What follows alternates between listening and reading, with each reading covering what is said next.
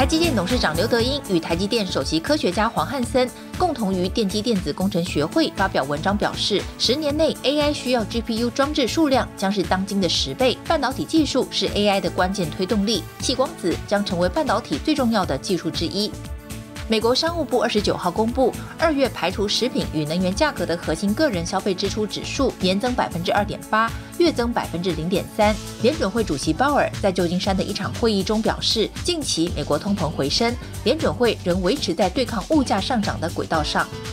西股媒体 The Information 报道。微软和 OpenAI 正就一项资料中心专案计划进行讨论，当中包括一台超级电脑，内含数百万个专用伺服器晶片，预计最快在二零二八年推出。美国零售巨头好事多虽然贩售商品多元，但一些大型家电或家具却只能线上购买。好事多近期表示，将在阿拉斯加州安克拉治市开设新类型的门市，专门展示家电和家具，让消费者有机会亲眼看到实体商品。新唐人亚太电视整理报道。